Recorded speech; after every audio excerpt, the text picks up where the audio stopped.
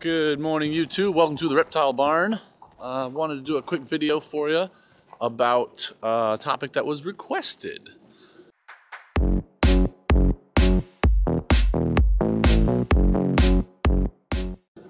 As you can see, it is winter. We're in Alaska. It's cold.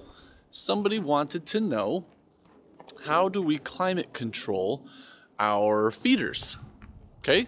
Which is a great topic, I think. So we'll just do a really quick video about this um, to honor that request and for anyone's information who lives in a cold climate. So the first answer is it depends. Uh, we keep rabbits and quail that, believe it or not, at least here in Anchorage, where it's a little bit more mild than like the interior of the state, uh, we don't climate control at all. We just give them supplemental light during the winter months where the daylight is a lot shorter, you know, the photo period and they do great. Obviously, uh, the baby quail we incubate and then we put them in a brooder and then we have a secondary brooder for uh, you know up until about six weeks old when they have all their feathers in and everything they can't handle the cold. Um, certainly not this kind of cold. But uh, once they're adults they do great. They pop out eggs all, all winter long. They're awesome. So let me show you the inside of that shed. Um, by the way these are just uh, you know Home Depot kit type sheds. So we keep our rabbits and our quail in here with no extra heat. Although, cool fact, uh, during the summer we keep the floor a lot cleaner, but during the winter we use the deep litter method. I'm going to talk really loud because there's a fan on and uh, for the carbon filter just to keep the air quality good in here. Um, so there's probably 8 to 10 inches of straw and hay and all sorts of stuff down on the bottom of this. Uh, and we dig it up all winter long and we put it over here in a pile and it composts all winter long, believe it or not. And it produces a, quite a bit of heat. Okay, so we right now we're just running one trio of rabbits. Here's the male, our buck. There's one of the does, and there's another one somewhere. Um, we're not using most of the slots in our hutch right now, although we do have quail in one, in one of the uh, areas of the hutch. So, uh, yeah, and they do great. Anyway, so it's real simple for these guys. This is one of those heated waterers, uh, so the water doesn't freeze. Um, we insulated somewhat, although you can see it's not spectacularly done right now. We actually, believe it or not, another fun fact living in Alaska, we had, sorry, weird light. Let me go back outside. We had a massive earthquake. Um, let's see, how long ago was that? Two years ago now? And uh, it, I mean, it, it blasted us. and it shook all the insulation out. People were having roofs collapse. Uh, it was a, it was a big one. So uh, it when we first put these sheds in for our feeders, you know, years ago, uh, the installation was perfect. But uh, ever since that earthquake, we've just kind of done patch jobs. We've never just torn it all out and redone it, which is what we need to do, but we haven't. So it's not as great as it should be. But yeah, we use a lot of insulation on these sheds.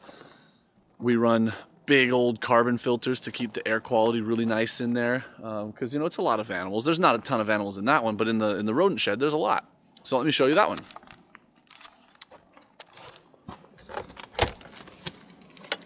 This one is heavily insulated because we want this one to stay really warm. Let me show you this setup here. All the walls ceiling floor everything heavily heavily insulated okay um, and as you can see, it is 73 degrees in here right now. Uh, it doesn't have to stay that hot. Um, you know, the mice, mice are tough as nails.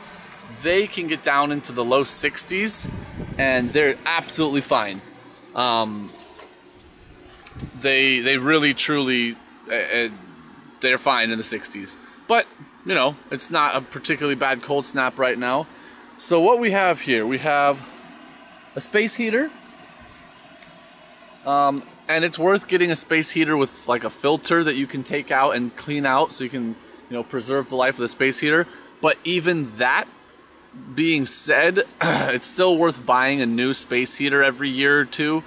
Uh, they just slow down because of the you know the dust and everything from the bedding and uh, the just it slows down. It's a small space. Um, but yeah, we have a fan on the ground so that we don't end up having you know 75 degree air up here at the ceiling and 55 degree air down there at the ground, which is what would happen without a fan. Um, and uh, I'll bet we have four to eight inches of insulation lining every everything walls ceiling even the floor we have uh, you know straw um, we, we do our best to insulate and we have you know some of the the rigid insulation on the ground as well. Um, the light is making it look like it's dim in here. It is not dim in here at all. I'm not sure why it's doing that.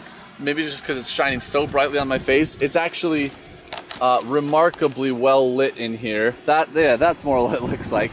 Um, so yeah we have a little staging area store all of our Mazuri rodent block over here, some random equipment. There's an old space heater.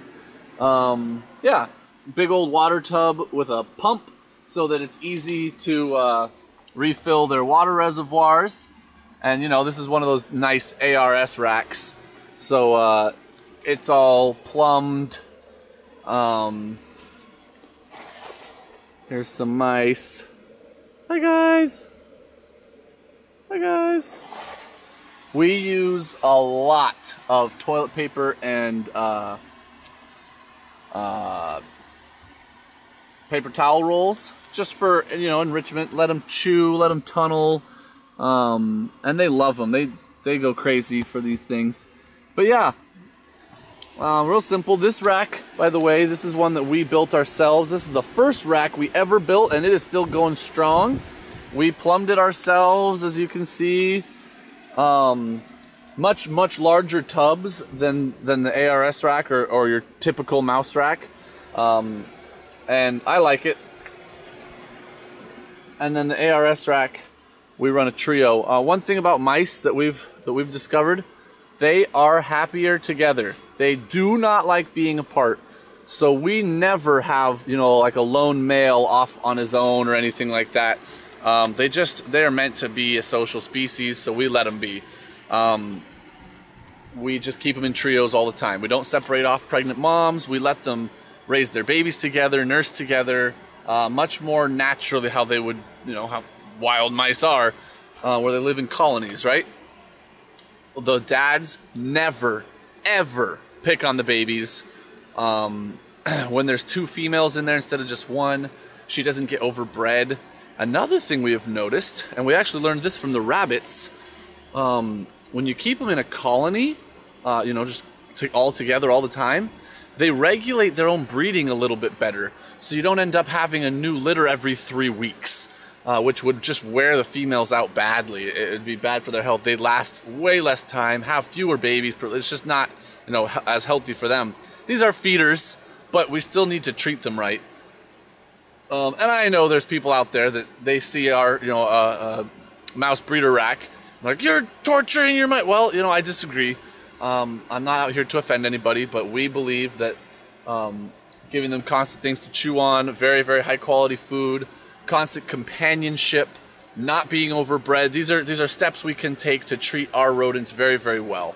Um, and you know the occasional treats, you know, chicken bones and things like that. Um, and they do great. Very healthy colony. They're kept. Uh, again, we have a, a, massive carbon filter in here to uh, keep the air quality really good. Um, I'm asthmatic, so I can't be in here if it's uh, you know if there's like if we haven't cleaned tubs in you know four or five days or something like that, uh, and so there's like that ammonia smell. I just I get killed. I can't even be in here. So the tubs are, are scrubbed out every like three days.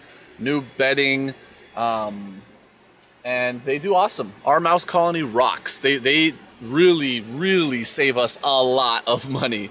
Um, you know, when it's baby ball python season like right now, and we're going through, I don't even know, 60, 70, 80 mice a week, that would just kill us if we had to purchase all those. Um, so breeding ourselves is is massively helpful to our business. Um, it also allows us to always have the exact proper size.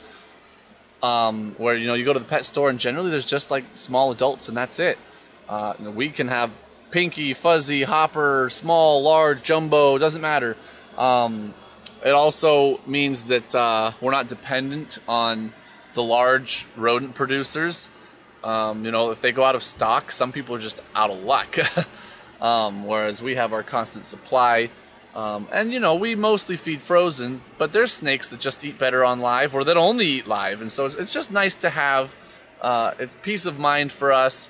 We can provide our, you know, we're not really mouse breeders that sell to the public like crazy, but like especially our customers who've bought snakes from us or people we just know in the community, um, we'll sell them mice.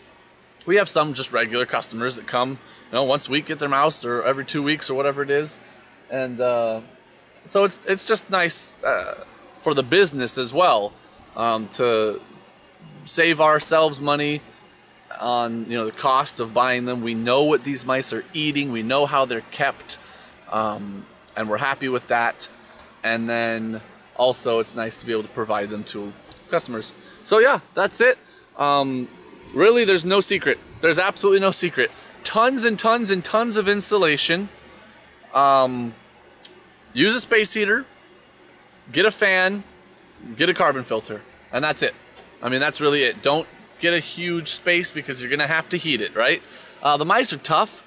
You know, we have wild mice here in Alaska, um, believe it or not, and they they thrive all winter long. um, you know, and Anchorage isn't as cold as the interior, but we can get down negative 20, negative 30 maybe on a real bad winter in a bad cold streak. So these mice are tough. They would be totally fine if we let it get much, much colder than this, but they wouldn't breed. And the whole point of them is to provide food and for them to be as healthy and perfect as possible. We don't want them burning through all their calories just staying warm, right? Um, anyways, that is all. I hope that that was uh, informational uh, to anyone who's thinking about doing it. Financially, 100% worth it. Um, if you can't handle the smell of rodents, no matter how clean you keep them, no matter how much uh, you filter the air, there's to be a smell. So I wouldn't do this in my house. Um, but if you have a sensitive nose and, and, you get nauseous easily, maybe this is not for you. Uh, but uh, otherwise, we love it. And and you know, my brother mostly does does the the feeders, and uh, he cranks through the work. He's he's a machine, but uh, he likes it. He likes working with the mice. He keeps. I don't know uh, if you can see all the different colors. We've slowly expanded our mousery to all these different colors and patterns and stuff. That's not even a particularly exciting tub, but uh, we like it. Anyway, that's all I've got. Thank you guys so much for watching. I hope that you can hear me over the sound of the fan. Um, probably should have turned it off, but I didn't. So, till next time, we're the Reptile Barn.